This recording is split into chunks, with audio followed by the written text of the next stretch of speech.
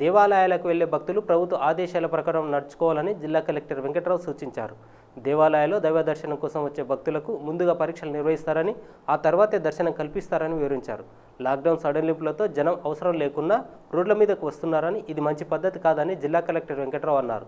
మార్కెట్ల వద్దకు చిన్నపిల్లలతో వచ్చి వస్తువులు కొనుగోలు చేస్తున్నారని ఇది సరికాదని హితో పలికారు. కలెక్టర్ క్యాంప్ కార్యాలయంలో కలెక్టర్ వెంకట్రావు ఎస్ఐ న్యూస్తో ప్రత్యేకంగా మాట్లాడారు. మహబూబ్నగర్ జిల్లాలో ప్రస్తుతం పన్నెండు కరోనా యాక్టివ్ కేసులు ఉన్నాయని తెలిపారు. ముంబై హైదరాబాద్ నుంచి గ్రామాలకు తిరిగి వచ్చిన వారితో ప్రస్తుతం కరోనా పల్లెలకు కూడా పాకిందని ఆయన ఆందోళన వ్యక్తం చేశారు. భౌతిక దూరం పాటిస్తూ తప్పనిసరిగా మాస్కులు ధరించాలని సూచించారు. మహబూబ్నగర్ జిల్లా ప్రజలందరికీ ముఖ్య విజ్ఞప్తి ఏంటంటే మనకిప్పుడు లాక్డౌన్ సడలించారని చాలామంది అవసరం లేకపోయినా రోడ్ల మీదకి రావడం విపరీతంగా మార్కెట్లలో చిన్నపిల్లలతో సహా వచ్చి పర్చేజెస్ చేయడం ఇవన్నీ చేస్తున్నారు.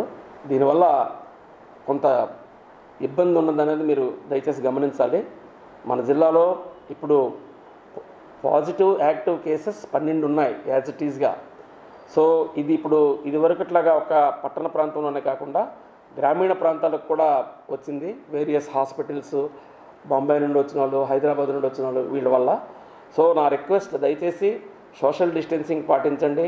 ప్రభుత్వ అధికారులు చెప్పిన ఈ మాస్క్ ధరించడం శానిటైజర్స్ ఉపయోగించడం ఇవన్నీ చేయాలి. ఈ రోజు నుండి కొత్త నిబంధనల ప్రకారం ఫైవ్ పాయింట్ జీరో నిబంధనలు అమలులోకి వచ్చాయి. ఎయిత్ నుండి మరికొన్ని నిబంధనలు సడలించారు. బట్ నిబంధనలు ఎంత సడలించినా సరే వాటిని క్రమ పద్ధతిలో ప్రభుత్వం చెప్పిన పద్ధతిలో కానీ ఉపయోగించుకుంటే అది మీకు మంచిది కమ్యూనిటీకి మంచిది మన రాష్ట్రానికి మంచిది దేశానికి మంచిది. దయచేసి దాన్ని దృష్టిలో పెట్టుకోండి.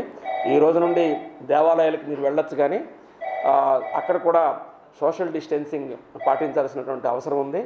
దేవాలయ అసిస్టెంట్ కమిషనర్కి కానీ అలాగే అక్కడున్న పురోహితులకు కానీ అందరికీ ఇన్స్ట్రక్షన్స్ ఇవ్వడం జరిగింది. ముందు స్క్రీనింగ్ జరుగుతుంది. స్క్రీనింగ్ తర్వాత లోపలికి పంపించమని చెప్పడం జరిగింది.